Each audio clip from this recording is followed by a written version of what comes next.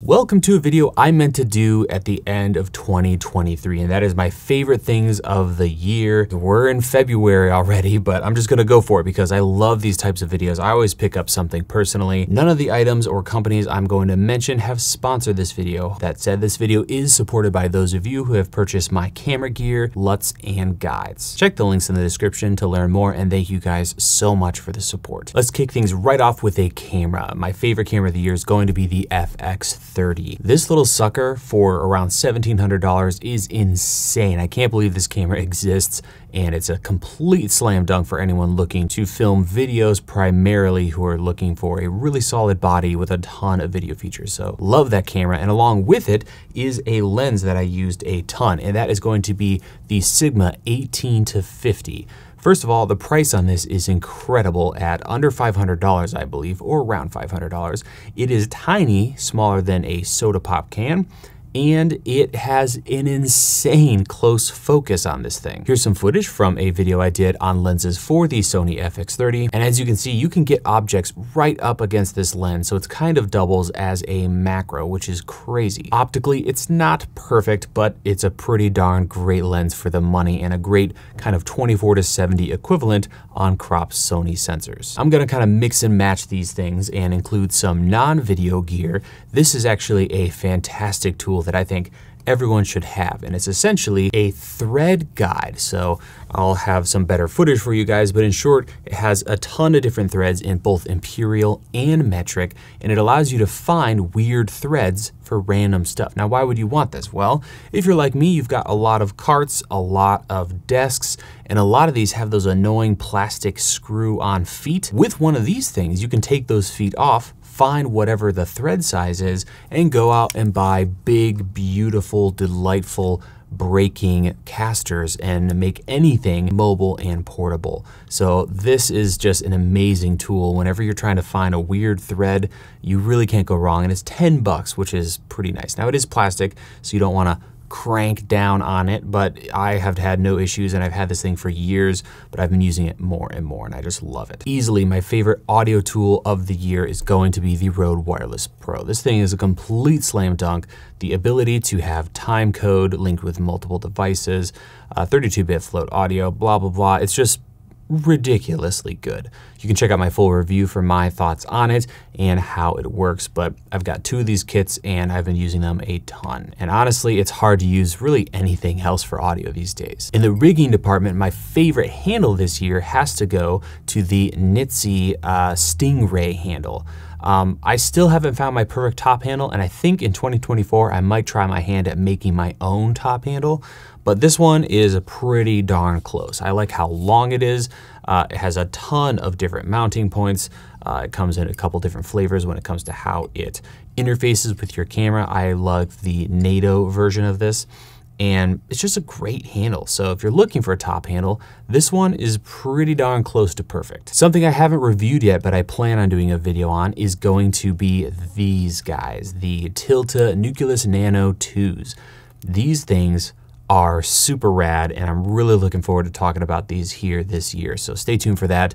But if you're looking for a wireless follow focus system, this is going to be a complete no-brainer. I gotta say I'm a little biased on the next one because I invented it, and that is the Cineback for the FX3 and FX30. It's a device that goes on the back of your camera and it turns it into a full cinema body instead of just a small mirrorless camera. We have a lot more of these units coming and we have a new top handle unit for the XLR top handle. So it actually interfaces into the Cineback main body. It's fully aluminum, so it's my first CNC project and uh, really looking forward to getting these out here at the end of the month. We have batches every month for these. I've done a video on it. You can check all that stuff out in the description. Also on this rig, I have two of my other favorite things from this year. One of them is going to be the SmallRig uh, 99 Pro batteries. So this is a V-mount mini battery and they've done an amazing job with these. So I've done a video on the older 99 watt hour batteries, but these ones are a significant upgrade when it comes to ergonomics, the way they operate, uh, just a great all around battery. So if you're looking to freshen up your V-mounts, check these guys out in the description.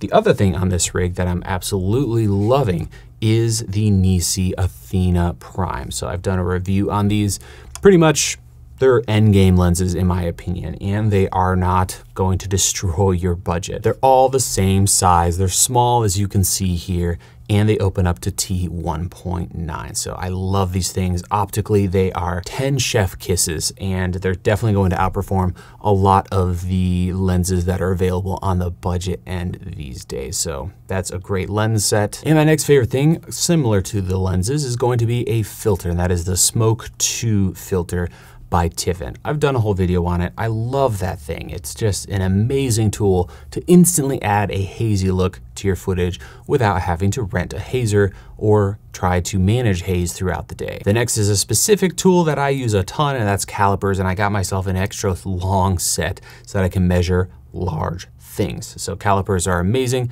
Not everyone needs them, but Man, these are great tools to have around whenever you need to measure things very accurately. Next is the most expensive thing I bought in 2023 and one of the most expensive things I've purchased ever. And that is that I finally broke down and purchased an LTO tape drive. Now, there's a great video by Linus Tech Tips talking about what LTO is and how it works, but long and short of it is that LTO tape is a way to archive your footage in our case, and it actually uses tapes, which sounds insane here in 2024. But what's wild about these is while the drives themselves are insanely expensive, the tapes per terabyte are ridiculously affordable and economical. So the drive that I purchased cost me 5500 bucks. Yes, almost $6,000 after taxes, but the drives themselves are $60 for 12 terabytes. And what's crazy with these is they're rated to last a really, really long time unlike hard drives. So what I've been doing is when projects are old or older footage from previous years, I write those to two different LTO tapes or more, put them in two different locations, and now I know I'm good to go for that archive footage. If I ever need to pull stuff out of those, I can grab one of those tapes and pull that in. Now it's not um, going to be like pulling footage off of a hard drive because it's tape, so it's linear. But if you have a bunch of footage sitting on your RAID system or your server and it's taking up a lot of room, LTO tape is a fantastic way to archive footage and archive older projects. So I'm really excited to have that. And now I'm not worrying about data anymore and running out of space on our server. So while it was incredibly painful to pull the trigger on that from a financial standpoint, I'm so glad that I did, and I'm really excited to use that workflow going forward. Next, we have a computer and two pieces of software that I use quite a bit this year. So the computer is going to be my new uh, Mac, Mac Studio M2 Ultra, and I mean, what is there to say? The I.O. is amazing. This thing screams through edits and exports incredibly happy with that. When it comes to software, I've been using two kind of keyboard and workflow related softwares. The first is Keyboard Maestro. Essentially, you can create custom keyboard shortcuts with really complex workflows and automations. So think command whatever you want on your keyboard and a huge multi-step workflow ensues on your computer. Super easy to program all of this stuff. So if you're a video editor, if you're really doing anything with computers and workflows, great piece of software, absolutely amazing. The next is Karabiner Elements. Essentially, it allows you to take any keyboard or mouse and change buttons and just make everything uniform and do a lot of really cool stuff. So you can set up a single function button to execute a giant list of commands. Uh, it's similar to Keyboard Maestro, but a little more uh, modifying of your keyboard and your peripherals. So if you do, again, a lot of things with computers, it's a really great tool. Last but not least, I have a book recommendation for you guys. I love economics. Uh, it's one of the only classes I actually finished in my one semester of college before I quit college. And I decided recently I wanted to get back into it. So I just hopped on Audible, searched for economics, and found Basic Economics by Thomas Sowell.